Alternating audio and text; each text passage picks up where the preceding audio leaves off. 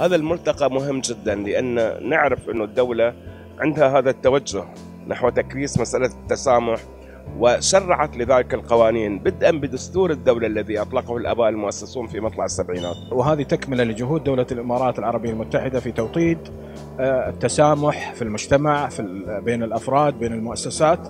آه، جلوسنا على طاولة واحدة مع مختلف المؤسسات لوضع آه، الطرق في التواصل والتواصل أيضا مع مختلف الجهات لتوصيل رسالة التسامح التي تدعو إليها دولة الإمارات العربية المتحدة يعتبر إنجاز مهم. باعتبار أن التسامح ليس فقط مجرد مبدأ نظري وإنما ممارسة عملية من خلال دعم الحكومة وأيضا العمل في مجال الإنتاج والعمل المؤسسي وكيف نستطيع أن نحول الموظف الفاعل إلى موظف متسامح.